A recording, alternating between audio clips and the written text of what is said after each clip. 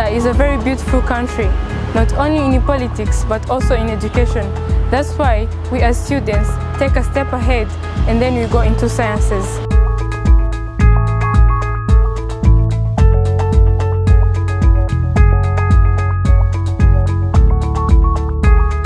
As you can see in the background, we came here to study different things such as sensors, microcontrollers, how to control different things.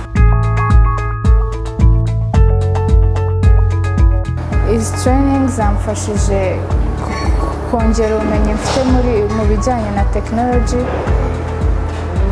kandi bizadufasha no kudivelopa amaporoje yacu muri future.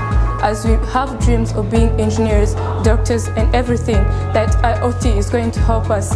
IoT is like connecting many devices and then make everything smart, as in houses, hospitals, schools, offices, everything. We are here to helping students from different high schools to learn how to use IoT, how to connect uh, things with the sensors, and how to connect them with the internet. So I would like to, to thank NEF that has organized these trainings.